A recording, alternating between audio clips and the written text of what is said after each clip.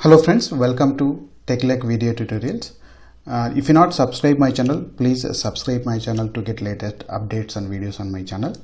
And uh, today I am going to give you overview on uh, cloud warehouses and list of cloud warehouses. And anyway, past uh, past 15 to 20 years we are working in traditional warehouses. Then most of the companies are moving to cloud when it comes to cloud what are the warehouses are available in cloud and their nature and supporting and features so we will continue in upcoming series. So today just i will give you overview on what is mpp architecture and supporting data warehouses. So when it comes to most of the warehouses so most of the warehouses traditional warehouses it may be uh, Oracle or maybe Teradata or maybe DB2 so most of the OLAP systems or you can say OLAP databases is enabled with parallelism. So what is parallelism? So parallelism means the same query can process whatever you have data, structured data, rows, that rows can be processed in a single system with a multiple sessions. That is called splitting and processing parallelly. That is parallelism. Then when it comes to MPP, what is MPP and advantages of MPP and supporting databases. So MPP is primarily designed to process on multiple systems. Instead of processing on single system, to process on multiple compute based, primarily multiple computations. How we will utilize that multiple computations?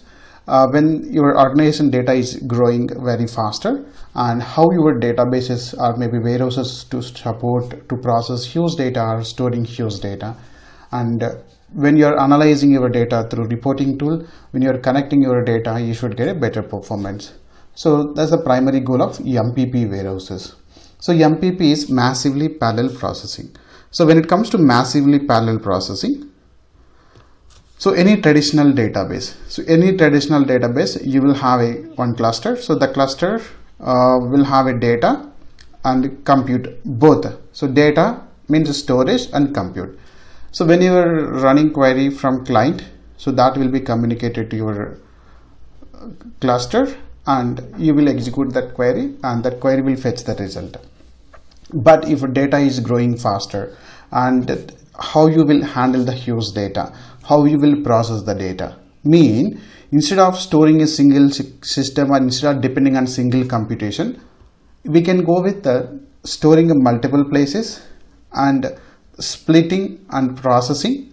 Then while fetching also you can fetch from multiple nodes or you can say multiple computations.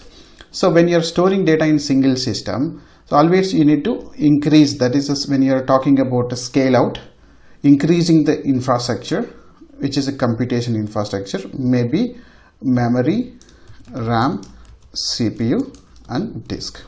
So any database so any database basic computation is required. So that is ram cpu and disk. So when it comes to increasing these resources increasing resources on single so you have one cluster okay so in this cluster you are increasing the resources but the storage will be in the there in the same system and the CPUs and RAM just you are increasing.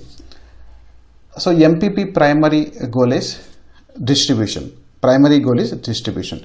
Instead of storing on single system, instead of depending on single computation, which you will divide this in single system into multiple.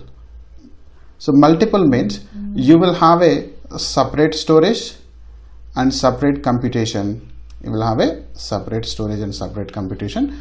And you will have one central node where it will communicate multiple nodes you can say that. So I will split the data and I will store separately. That is called a storage any cloud storage. Okay?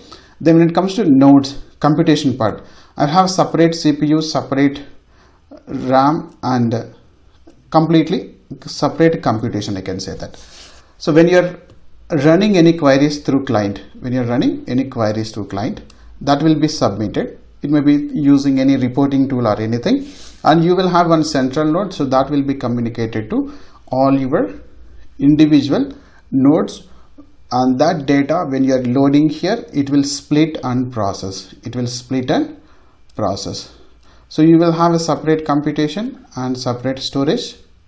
Okay. So if I have a 100 million records 100 million rows so if I can go with the increasing this infrastructure maybe 2 node 4 node or maybe I can increase based on my requirement. Okay. So that is called massively parallel processing. Massively parallel processing means instead of depending on single computation or single system the same records if I go with the 4 node cluster. So node 1 node 2 node 3 example.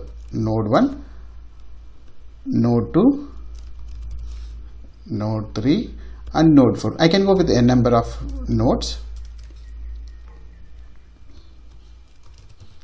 Node 4 so this 100 million records I can split and I can process parallelly. That is 25 million here 25 million here 25 million. So 25 million rows in one node 25 million rows in another node. Okay? So that is called it will have a separate computation system where you can find RAM CPU and uh, when it comes to storage so this is uh, completely storage part. Storage. Computation. Okay so when it comes to storage you can use any cloud storage or any custom storages depending on service or maybe service provider. Maybe azure or maybe google or cloud or any other clouds. So cpu ram and it will have one disk. Then this is external storage. External storage means we will call it as shared nothing. Shared nothing architecture. So shared nothing architecture primary goal is we will split the data and we will store separately. So this 100 million records we will store separately. So 25 million records process through this node and storing into some external location or maybe any storage. Okay? It may be HDFS or maybe if it is Uh, Google GFS Google file system or Amazon S3 or Azure storage. So I can scale out I can scale out this maybe 10 nodes 20 nodes like this. 10 nodes 20 nodes. So when you're talking about when you're talking about splitting and processing splitting and processing is called massively parallel processing. So it will have one node means own computation and that data we are splitting and processing. That data we are splitting and processing on multiple nodes. Multiple nodes. So that we can scale out based on our requirement. You can go with a single node two nodes three nodes four nodes 100 nodes. So based on your requirement you can increase that. So this architecture we will call it as MPP massively parallel processing. Instead of depending on single computation and we will go with multiple computation. So it can reduce the process time and it can reduce the burden on single system because you will have a different computations where it can split and process on individually. Okay? So that 100 million records processing parallelly that is a parallel processing massively means where we are utilizing multiple computations. Multiple computations means it is not sharing storage it is not sharing computation. So separate computation separate storage. So just you are dividing and storing. So this architecture we will call it as massively parallel processing. Massively parallel processing. So there are many databases are supporting in cloud. Let's look at that. So from azure side azure synapse analytics. So you can call it as there are multiple alias names azure sql dw azure sql warehouse azure sql warehouse or dedicated sql pool okay then Snowflake. So Snowflake is third party. It is available in most of the clouds and or you can choose their own cloud. And when it comes to Amazon, so Amazon is having Redshift